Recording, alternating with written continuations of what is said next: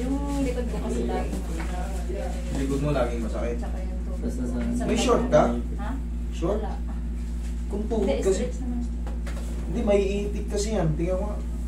Oo, ano. Ple, para kasi pag hinapit ko yung dito mo, saka nasakal, di masasaktan ka lalo. Palaging masakit likod mo. Tsaka yung mga braso ko, madali siyang mangalay. Ano sa tingin mong pinagmumulan? Trabaho?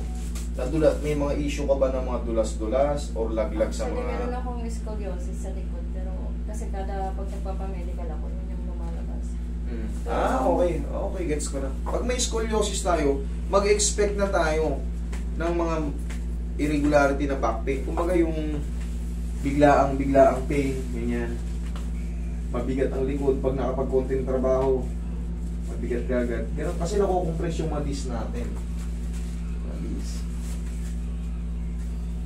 Eh, ba yung may kontrata kanyang titingnan? Okay. Eh, ito pala, abroad to si ma'am. Kaya, kailangan yung katawan natin. Kondisyon tayo. Para pagdating natin sa abroad, pag napalaban tayo sa trabaho, eh alam mo naman sa abroad, walang ano ron. Anong may sakit? Okay, kaya kang patiaya. Work! Yan, sige ka ka lang.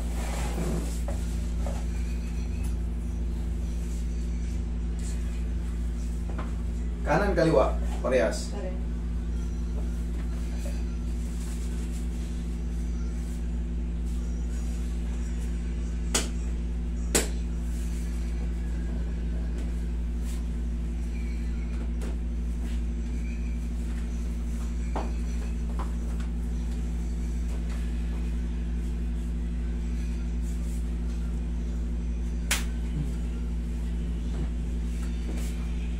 Tagilid ka, ma'am.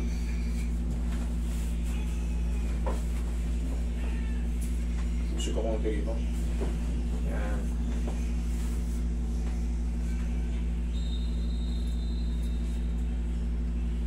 Okay, relax lang.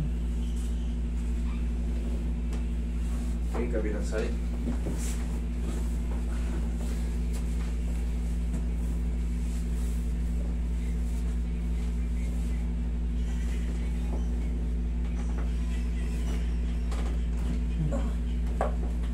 Okay, tata kayo.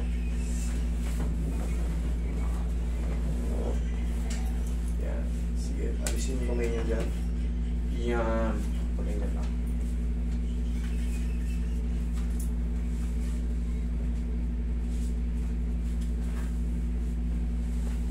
Okay, relax lang.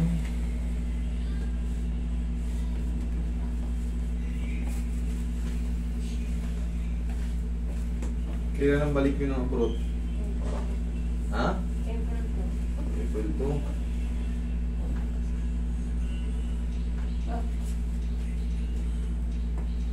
Malapit na. Ramadan ngayon dun eh. Diyan din ako dati. Saan ka da? Saan ka ba? Abha? Rap ha. Rapha? Rapa? Oo. Sa Rapa. Probinsya yan. Oo. Okay, higpit na. Okay na? Ano dyan eh? Purong balot na balot ang tao dyan. Hindi ka tulad dito sa amin, sa Jeddah. Maluwag na. Saan ang embassy nyo? Wala. Sa Vietnam. Riyadh, no? Hindi kayo kumuha. Okay, massage mo. Sa Rafah. Mga 4-5. May ano ah. May, bag, may biglang kumidlat ah. Paglingon ko ng gano'n.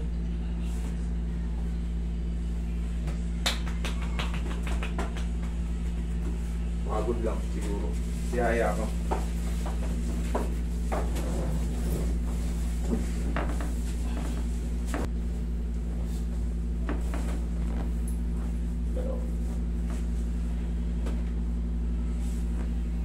Kontrata ka sa labas para mabilis, malakas na kita.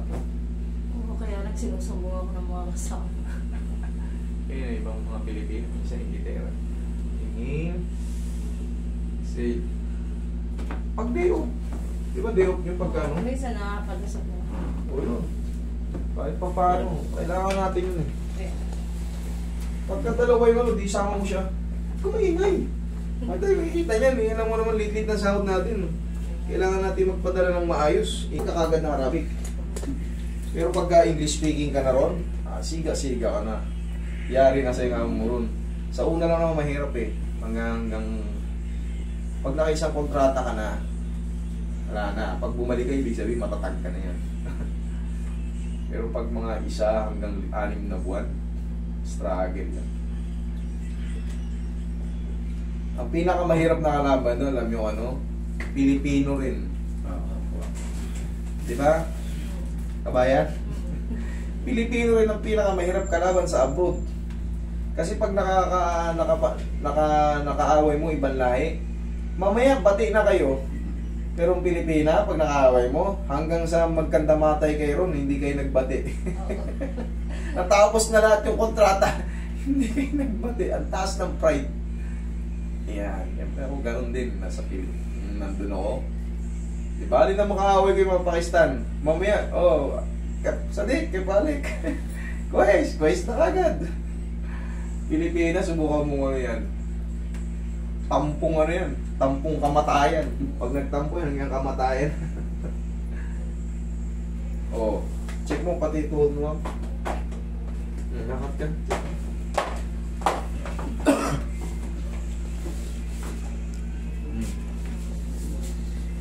Pati kasi lagi yung tunog-tunog baga. Oh, ngayon. Oh, awit. Ayun na. Wala kang marinig. Oh, di mas maganda wala ka nang marinig.